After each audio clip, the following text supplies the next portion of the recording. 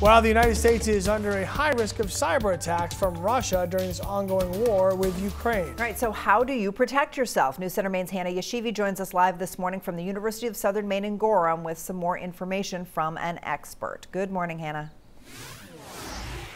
Good morning, Lee and Sharon. Most of us use cell phones and computers every single day. Dr. Lori Sussman is a professor of cybersecurity here at the University of Southern Maine in Gorham. She says cyber attacks have risen 300% since the invasion of Ukraine. So, to keep your information safe, here are some tips.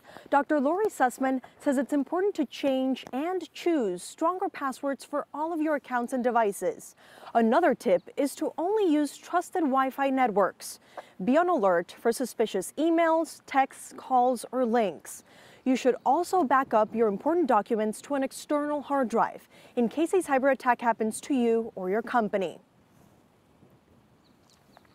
These days, there's a, a technique called spear phishing where they'll impersonate people to targeted folks who um, have access to money or have access to, um, to, to data that they could sell.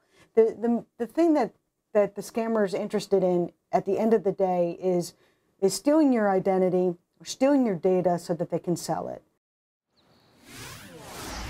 Dr. Sussman says it's extremely important that every organization, big or small, has a plan on how to respond to a cyber attack.